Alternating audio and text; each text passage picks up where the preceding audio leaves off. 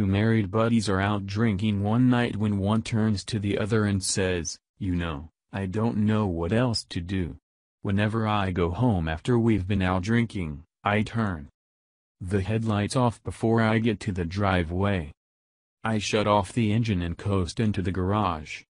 I take my shoes off before I go into the house, I sneak up the stairs, I get undressed in the bathroom. I ease into bed and my wife still wakes up and yells at me for staying out so late. His buddy looks at him and says, well, you're obviously taking the wrong approach.